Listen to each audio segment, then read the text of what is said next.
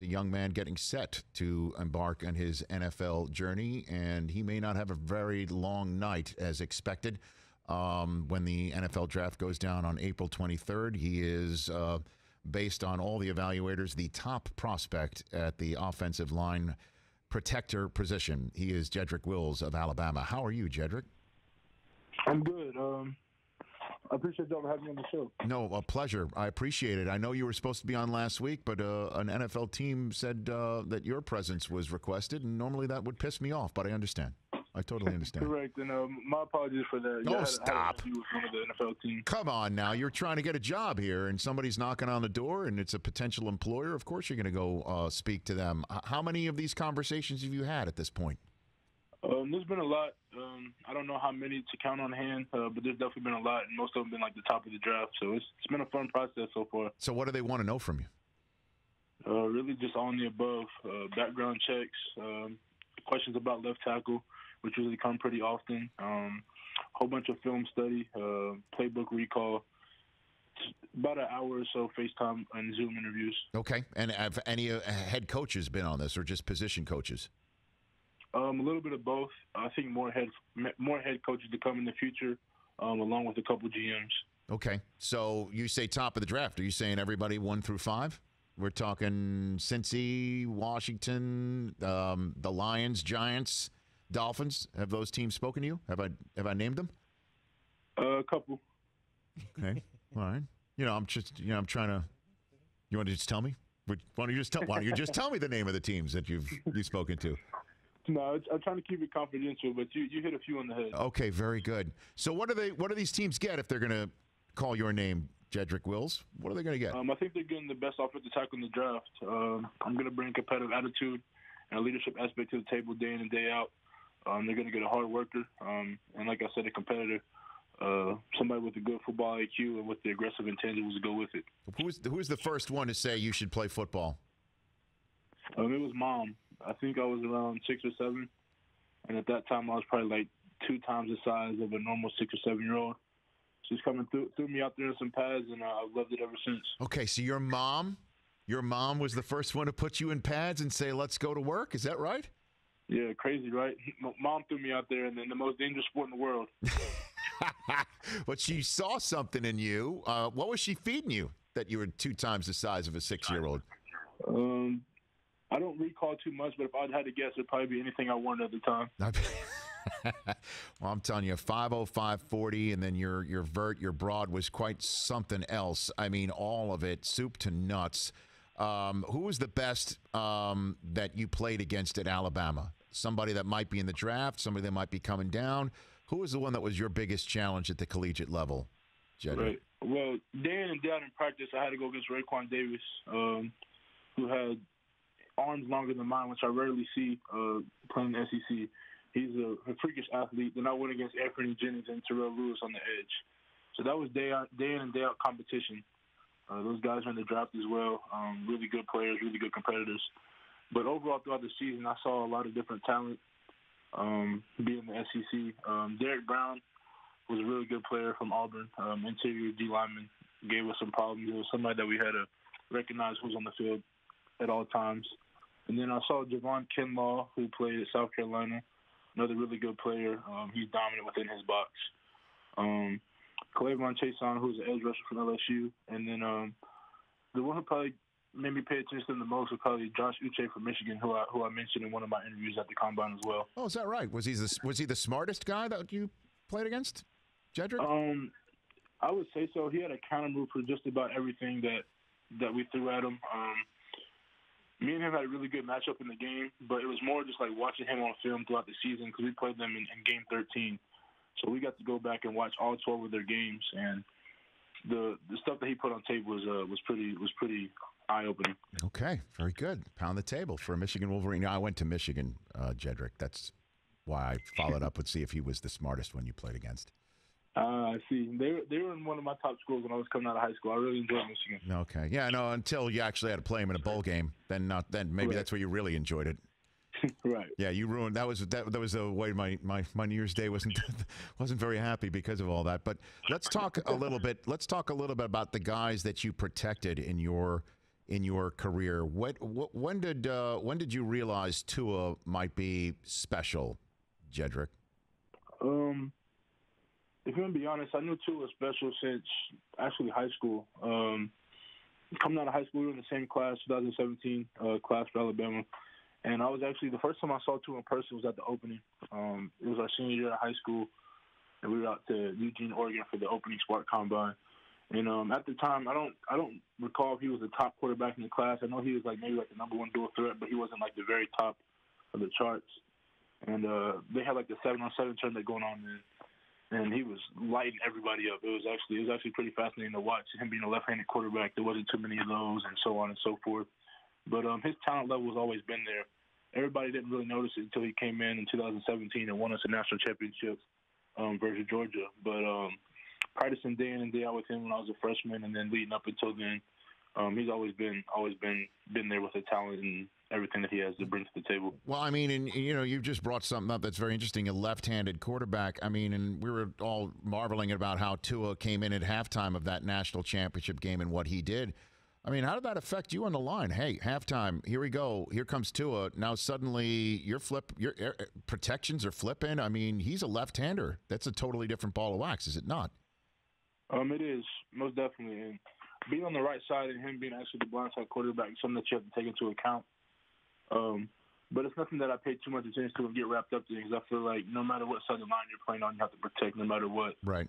There will be differences in slides and um, man protections and people who are manned up on the backside and people who are sliding away and things like that. So that's where that awareness aspect comes into.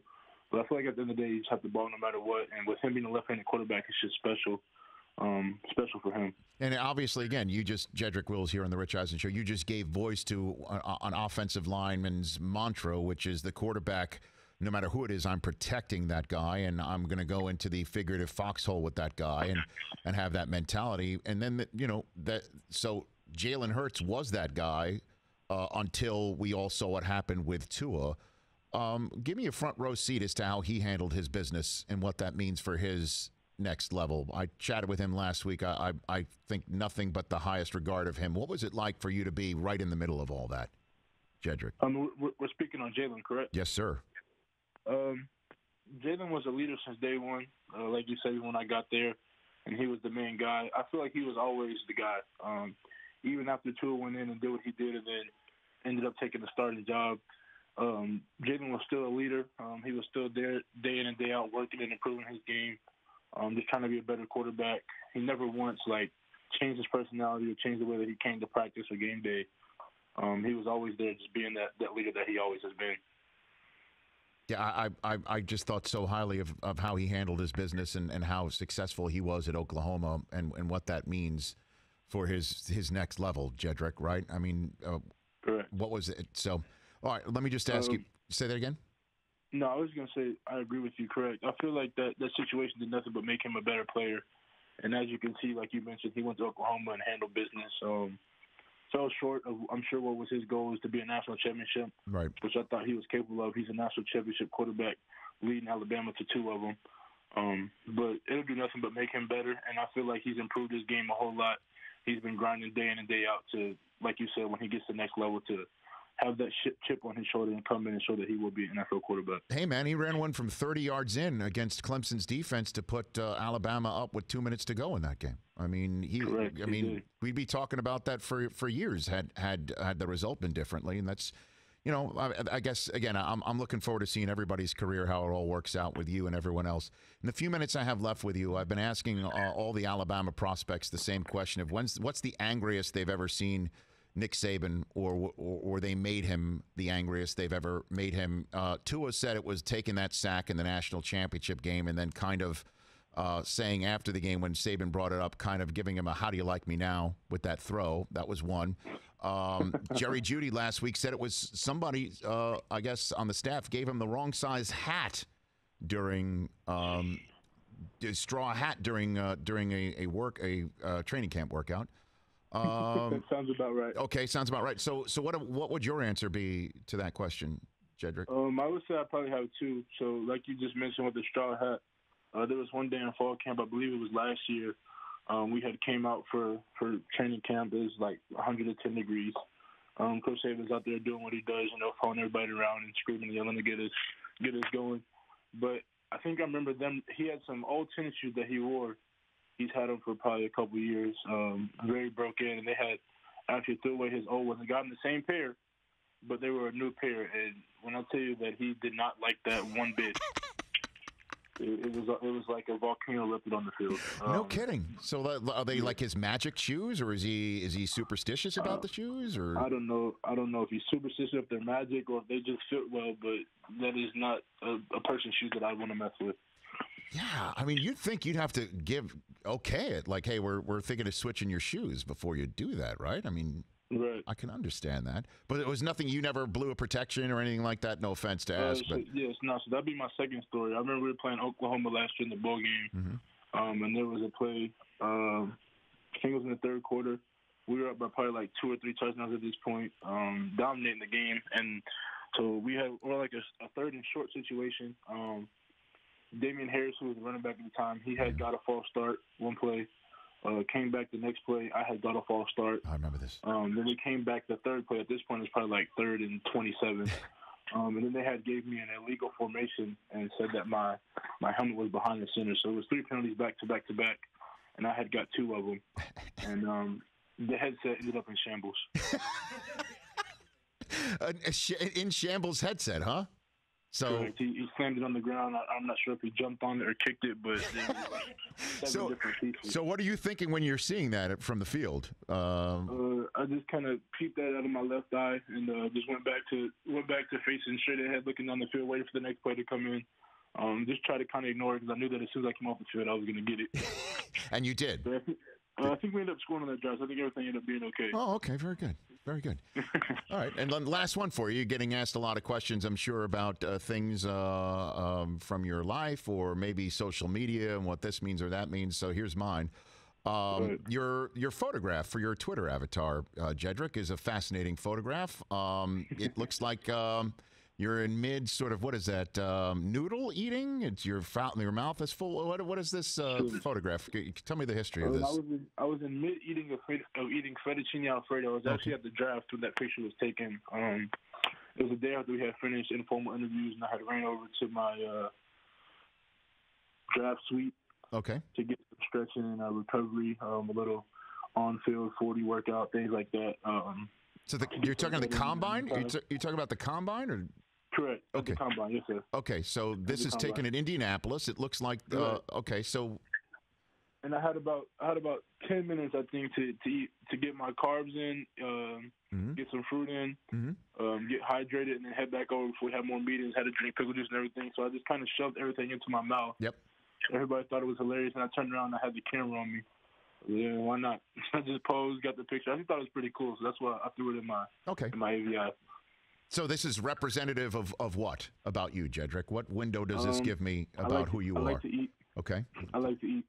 Okay. You like to eat, uh, have fun, and just just go for it. Essentially. Correct. Okay. Yes. All right. All at once. All you can eat. Jedrick A, Wills. pers- a personality pick. I put it that way.